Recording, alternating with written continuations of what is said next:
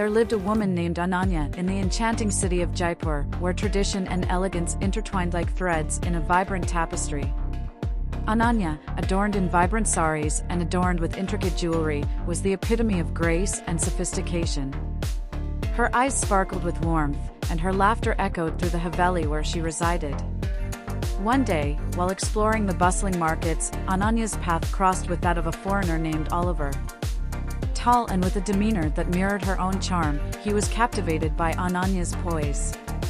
Despite the cultural differences, their connection blossomed, fueled by shared glances and stolen moments. Ananya's traditional values seamlessly intertwined with Oliver's appreciation for the rich tapestry of Indian heritage.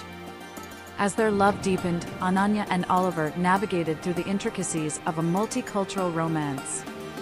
Ananya, with her unwavering commitment to family and tradition, found herself enchanted by Oliver's open-mindedness and respect for her roots.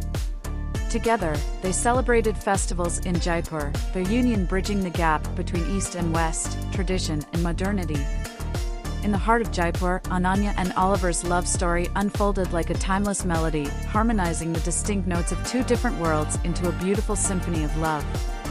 Their union showcased the boundless beauty that emerges when hearts connect beyond borders, transcending cultural nuances, and embracing the rich tapestry of love that knows no boundaries.